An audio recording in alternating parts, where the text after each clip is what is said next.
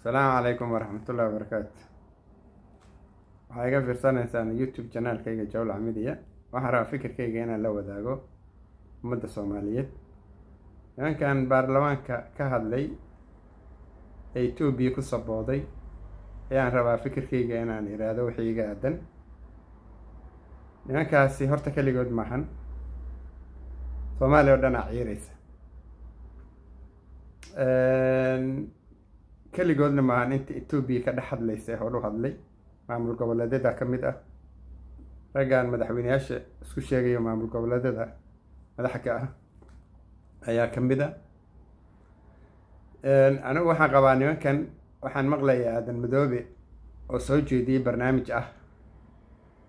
Laba mid inay yeelaan ama inay apologize bixiyaan ay dadweynaha raalli geliyaan ay fikirkoodii ka noqdaan iyo in xasaanadda laga qaado.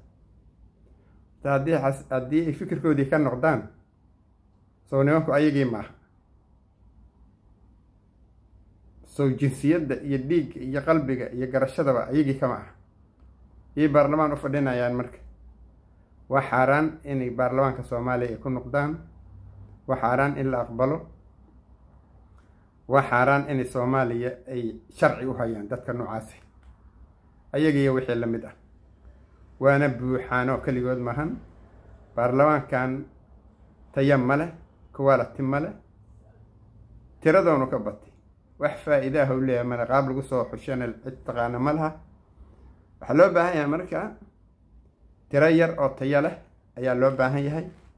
Ninka baarlamaaniga noqonana waa inuu noqdo nin la yaqaan oo personal historygiisa la ogyahay oo wadani ah aqoon ku filan leh qofkana waxaa loo baahan yahay dadnimo hadduu leeyahay inuu aqoon ku darsado aqoon hadduu leeyahayna inuu dadnimo ku darsado hadduu labada midkood wato dee nin laba nin lug lahi nin laba laba laba lugood nin lug ka maqan tahay ma socon karo way iscafacaan markaas waxbuu tari karaa waxbuu iska celi karaa.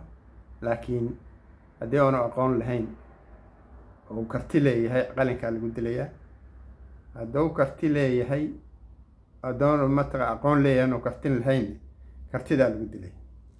Marka qofka baarlamaanka noqonaya waa inuu noqdo qof wakiil ah. Qaadi kara xasaanadda loo dhiibay culeyskeedana garanaya waddani ah inuu noqdo. Dadkan meesha ka buuxa oo aan wixii dalka wax u dhimaya aan waxba ka lahayn rag macaan way ku jiraan dad qiimo badanaa ku jira kuwa haddaba ka xanaaqay oo mooshinka ka keenaa ku jira maasha allah ninkii fiican oo dhaalaha barakeeyo kuwa xunna ilaahay ummadda ha ka qabto. Waxaan dhihi lahaa aniga arrintan labaatanka nin baarlamaanka iyo ku noqon iyo ciddii kale oo gacansaar la leh. Kuwa joogana baaritaan ha lagu sameeyo ha la xaqiijo waxay yihiin asalaamu calaykum waraxmatullahi wabarakaatu